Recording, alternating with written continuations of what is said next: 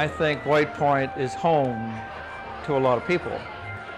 We have been able to develop a White Point following which is very strong in the hearts of a great many people. And I think they were interested to just be part of the first year anniversary. I've been to all the other resorts in Nova Scotia, and they're all lovely. But this place has an aura, and it has a hmm. welcoming. Like you could go into the dining room here all dolled up if you want to, or you could go in in your pajamas, and you would feel just as comfortable.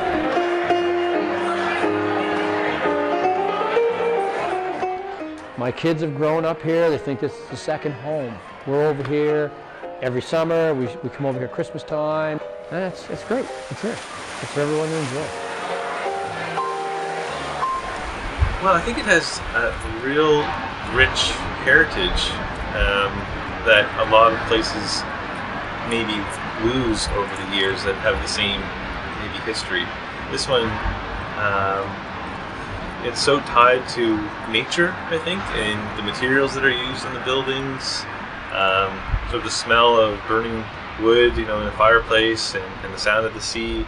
It's probably almost like it's been frozen in time since the day it was actually built back in the, uh, in the late 20s. So I think that's why people come back here. It's authentic. It's, it's part of our family. It's a, it's a it's a tradition, not just for us, but for many families. many families They come all here over. every year. I think White Point is a place where they can go and they can be themselves. It's just just a very comfortable place to come and be.